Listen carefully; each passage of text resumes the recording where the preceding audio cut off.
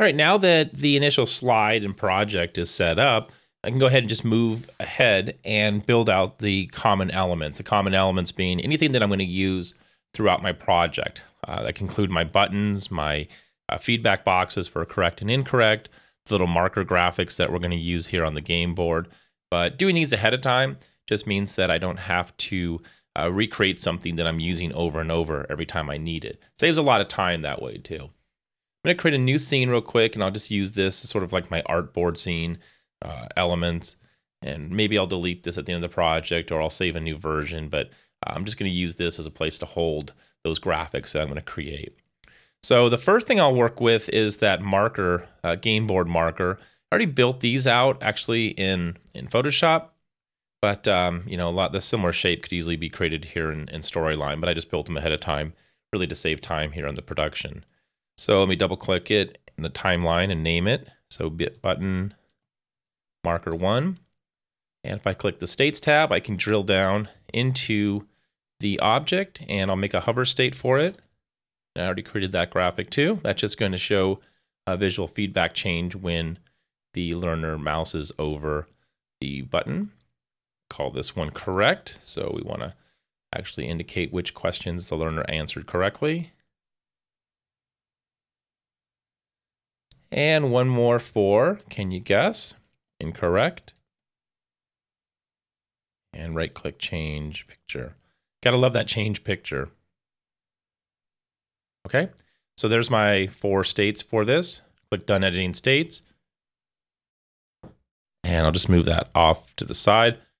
Also using two different types of buttons in this project. I'm using a submit button and a continue button right? Super simple, could make these things pretty fast, but obviously the benefit to the buttons is uh, by having them, just make this at 100% so I can see.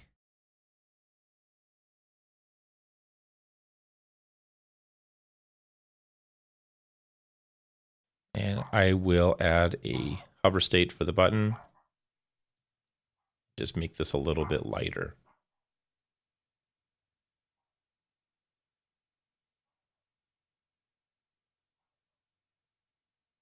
Okay. And I'll call that one button submit. And I'll make one more for my continue button. And I just have a different continue button, really just so uh, we can add some visual contrast on the slide to indicate that there's a different option now for um, the learners. So now change that one to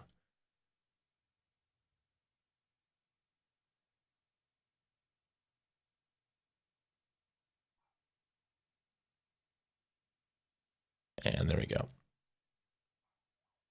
So nothing too fancy, just a couple different buttons, and that'll be good. Now I already have my colors, so I'll just use those for uh, the feedback slides. But at this point, uh, this will help me uh, build out those initial uh, graphics as I can pull from. I'll make a couple of these. So I'm actually going to go ahead and just copy this one and drop it over here on my initial game board.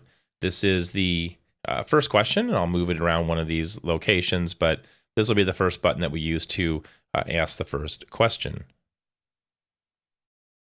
Yeah, so at this point, we're all set up for the elements.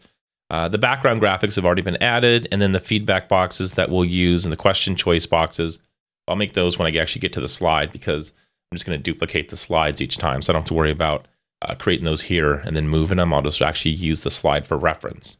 So we'll do that in the next tutorial.